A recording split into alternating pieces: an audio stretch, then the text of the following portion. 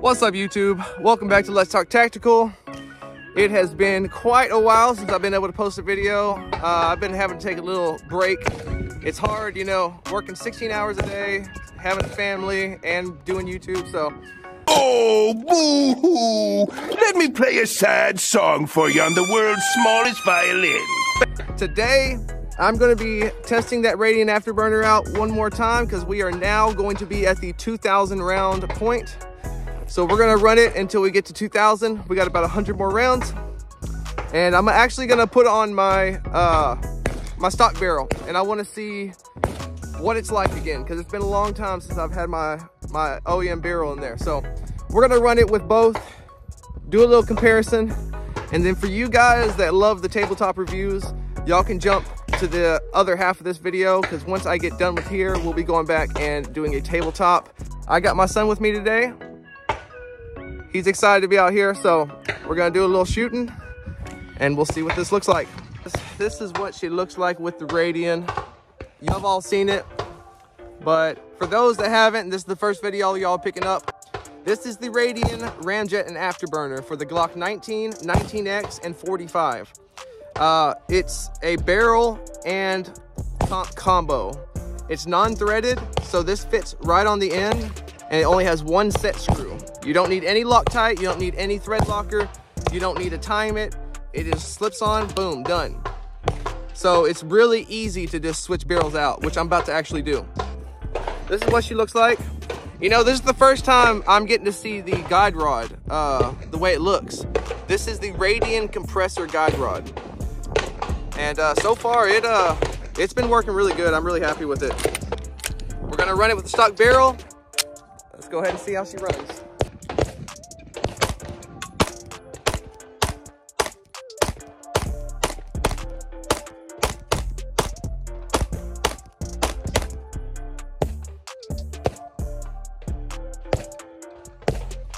Tell you what, the Glock 19X, regardless, is a great gun. I was really killing it with, with this thing before I got the Radian. So you can never go wrong with the 19X or the Glock 45.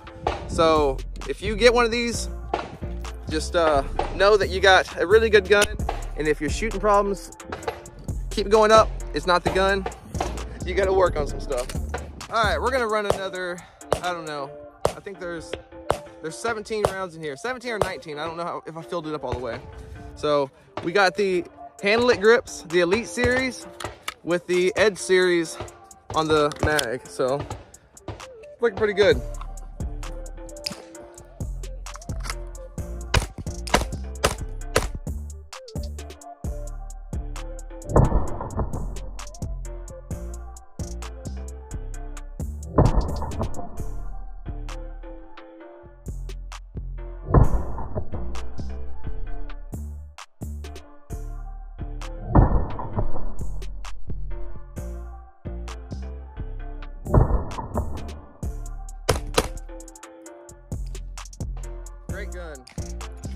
Hate that I'm scuffing up my light though, and I know that a lot of y'all are gonna be like, oh, big baby, but man, I really like this light. I don't want it to uh, dim the, yeah, yeah, okay. All right, let's go ahead and, let's go ahead and put the Radian back on. Let's see how, uh, how big of a difference it is. Honestly, guys, let me know what y'all think. Is she complete? Is there anything else I can do to this gun? I'm thinking about getting the 507 competition, uh, the 507 comp uh, red dot from Holosun in the green dot version. And it should be, they say it's bigger than the SRO, but uh, we'll have to see. So what do y'all think about that? And also one last thing I'm gonna get is a magwell. But here we go. We're about to run 19 through this and we're gonna see how she feels after shooting that OEM barrel.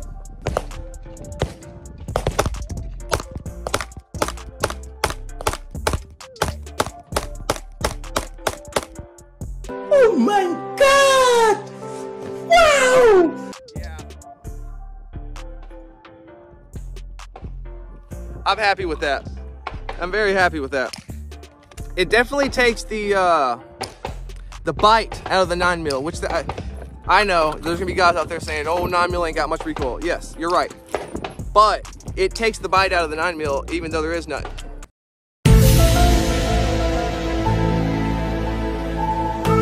It, it makes it feel almost like a 380 in a way. So it is definitely working pretty well, but let's go ahead and run another Mac through it real quick.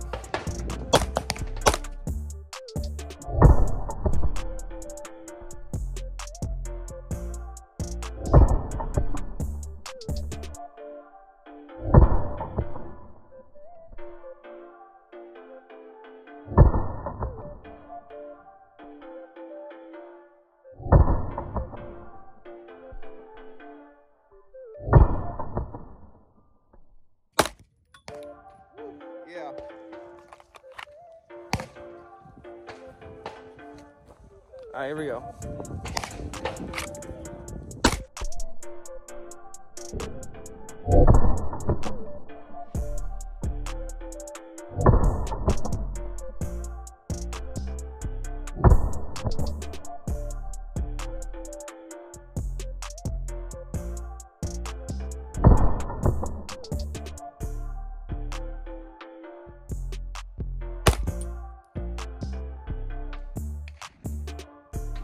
My grip has been destroying me lately, man.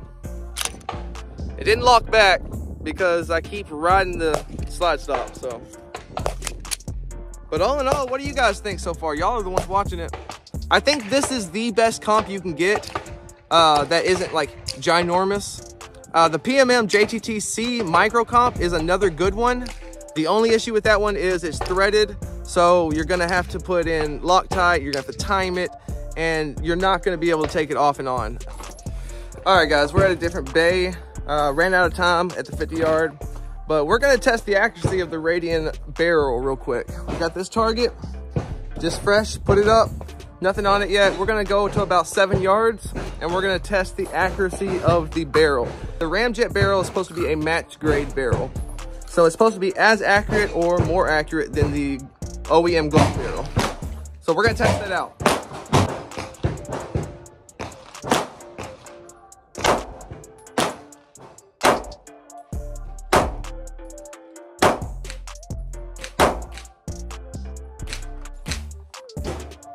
Now, some of it could have been me. I don't know. We'll see. I gotta tell you guys, hold on. Let me let me get you guys down here real quick. That was uh it's pretty good. All right here. All five. So if you can tell, there's no bullet misses anywhere. All five. So, the barrel is plenty accurate, but we'll continue to try that out. Let's try five more shots in the same exact spot.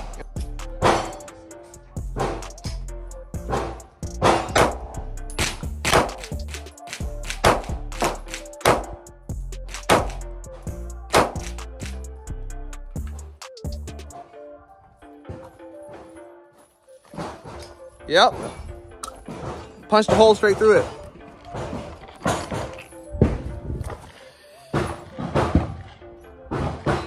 All right, so I don't think we need to really uh, discuss on if the barrel is accurate. Let's run a time drill and let's see how accurate I can be with this Radian. This is run its timer. I fixed your damn timer. The screws were coming out of here, and so I tightened them down, and now it's a good solid click.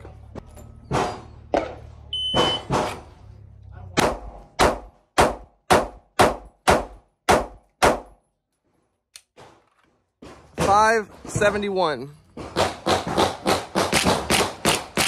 First shot, 188. And I, I went a little high on these right here.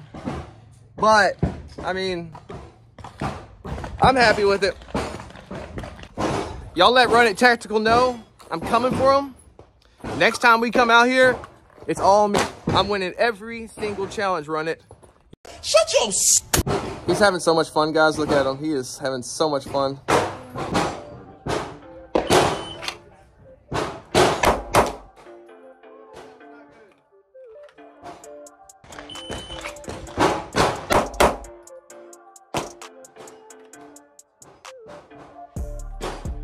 First shot, 184.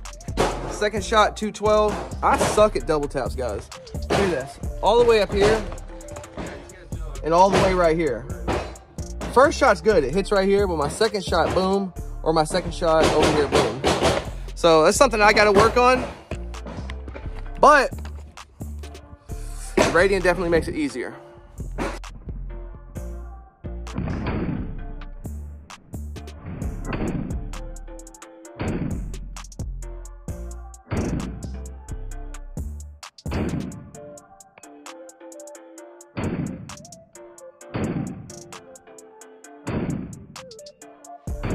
All right, guys, last mag. We got either 18 or 19 in here. So last mag and we will officially be at 2,000 rounds. Here we go.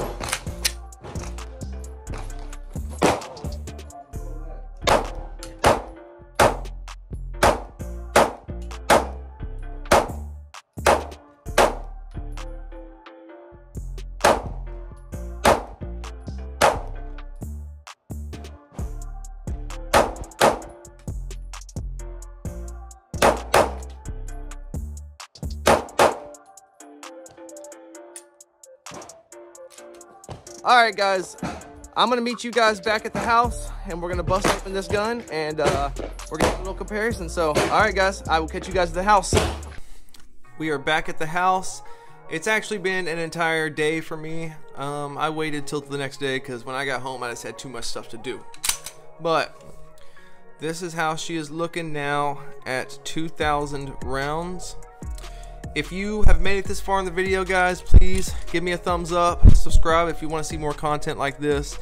I'm going to be having as much content as I can out there for you guys. And if you have a uh, video that you would like to see, just leave me a comment or a message and I will try and make that video for you.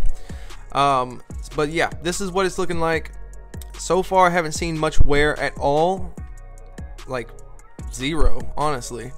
Um, but what we're going to do is we're going to go ahead and break this thing down and take a good look at it. It is dirty. I haven't cleaned it, but you know, I, I wanted to keep it the way it was so that y'all could see how it really looks instead of cleaning it up. But all right, let me break this thing open real quick, guys, and we will see what she looks like. All right, so this is what I was talking about. This is what the Radian Afterburner looks like. So the reason this Radian Afterburner is so important and one of the biggest things I think that makes it the way, like what makes it so good is the fact that it's not threaded, no Loctite, no timing. It's shaped like this, like a teardrop, and all you do is you just take this, boom, done. There is no way it can turn. It cannot turn. All you do is put this set screw in there and crank it down to 15 inch pounds. Uh, if you do a lot of stuff with firearms, scopes, any of that stuff, uh, I definitely suggest to invest in one of these. This is the Fat Wrench by Wheeler, and you can crank it down to whatever inch pounds you want. So it's very easy to take on and off. It's very quick and very fast. Most compensators are threaded. So you have to spin this on and you have to time it in a way where once you get it to here, it's not up against here or too far away. So you have to time it perfectly. And then you gotta put thread locker in there. This is so easy, just pops on and off. Very easy. No thread locker, tighten it down to 15 inch pounds, boom, done.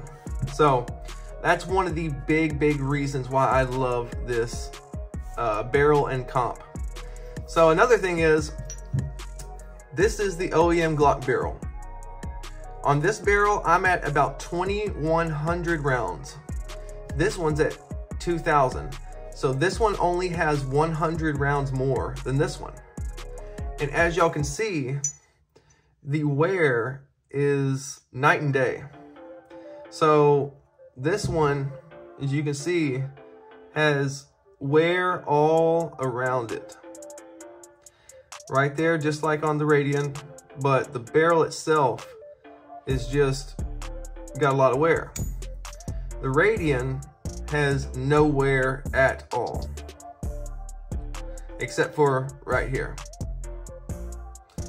It is fluted, and one thing I've noticed that really helps out with that is when it gets dirty, instead of it just building up on the barrel, it pushes all the carbon and dirt into these flutes so that it doesn't get in the way. So you can run it longer without having to clean it.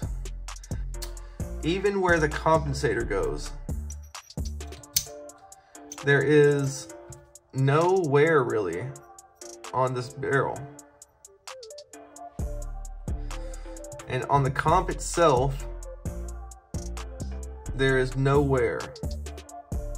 This is all just carbon. I can clean that all up. So whatever finish Radian used, it's really, really good. And I'm sure you can find out what they use on their website. I just haven't really cared to look. Um, the fitment of this is, Radian did an amazing job. This, it has such a tight fit in the Glock that it just, it literally, there's no wiggle room, nothing. It fits perfect. All of the, the work on this is done very, very well. They did cut something different besides from the Glock barrel is, I don't know if y'all can see, but right here, it's just straight up and down square. Radian cut this little part right here out. There's a little spot right there that's they cut out. You can see there's a little valley right here to come out. And whenever it's chambered, I can look through there and see the bullet in there really easy. Now you can still do that with the Glock barrel, but with this one, it's real easy to know that you have a bullet in the chamber. Um, I don't know if that's what it's for or if there's another reason for that, but they did a really good job. And the accuracy, now that I've seen the accuracy, like on paper, um, I'm very, very, very happy with this purchase. Now, if this barrel didn't have a good finish and it was already wearing like this, and its accuracy was eh, it was kind of like this or worse, then I would say the $400 would maybe not be worth it. It'd be steep. But the fact that this thing is holding up like a champ it's very accurate. The compensator works wonders. It does its job. Uh, I, I think the $400 price point is right on. Because what a lot of people don't take in consideration is, yes, you can get a comp for a lot cheaper than that. You get like $150, you get a comp. But you're not getting the barrel with it. You're just getting the comp. And it's twice as big as this. With this, it fits so perfect and flush. And it's so sm much smaller that it just takes the 19 to a 17 length gun. So I think the price point is perfect because you are getting a match grade barrel. Uh, you are getting a very accurate, durable barrel barrel with the comp. So $400 I think is a good good deal. Now, I have had 100% accuracy out of this barrel, out of the whole everything. Never had a single malfunction. But when I was using the stock guide rod, which is 18 pound spring, um, the casings were kind of just falling out. Like there was, like this slide wasn't coming back uh, as fast so that they were just kind of just falling out. Um, like I said, zero malfunctions, but I kind of thought maybe um, I wanted to make sure that in the future I had none so I went ahead and picked up the Radian compressor. I took the 18 pound spring off and put the 15 pound spring on here. I've tried all three springs, they work perfect. Uh, but for me, the 15 pound spring was just the perfect where I wanted to be. Because with the 18 pound, it felt awesome. The recoil, the recoil impulse was awesome because when the slide would come back, when the when the bullet goes off, boom, and the slide goes back, it was a very soft, uh, you know, feeling when it came back. But when it went forward to go back into battery, it would slam forward, which would sometimes dip the gun a little bit. I found with the 15 pound spring, the going backwards was a little bit snappier. Not really, you don't really get to notice it that much, but the return to battery was softer, so I wasn't dipping as much. So I found this to be the perfect combination. The Radian afterburner ramjet with the Radian compressor with the 15 pound spring. Um, so both of these are gonna do you just fine. If you, if you wanna stay with the 18 pound spring, you're not gonna have any problems. Or at least I didn't. I've had no malfunctions. I've ran 115 grain, 124 grain, 124 grain plus P. Uh, I've ran some, you know, the Federal HST, and I've ran my SIG Elite Defense 124 grain, and I've ran a couple 147 grains. All of them have been 100% reliable, no issues. Um, but uh, when it comes to shooting and just training and competition, I'm just running 115. Sometimes I'll run 124, but for the most part, I stay with 115. And it says that uh, it has a 44% reduct recoil reduction whenever you're using 115. Now, when they say that, they're not talking about you're gonna see a 40% 44% reduction in muzzle rise, but it will take the muzzle rise down a little bit, but it's the recoil impulse, what you feel in your hand when you're shooting. It really kind of just takes that bite out of it and makes it feel like the like the bullet going off. You're like you're shooting a 380. So it really takes the the umph out of it. So it, it definitely definitely worth every penny, I think. So, but I'm gonna do some more testing. But for this video, guys, I think that is about it. Uh, I have a couple more videos coming out, like I said, so y'all just stay tuned. If you made it this far in the video, guys, I appreciate it. Please give me a thumbs up and subscribe if you like this kind of content. Um, I just got to the thousand round point with this grip, and I told y'all that we would be back after a thousand rounds, so I will be making that video real soon for you guys. So y'all stay tuned. That is gonna wrap it up, guys. I really appreciate all y'all that have made it this far and I'll catch you guys on the next one.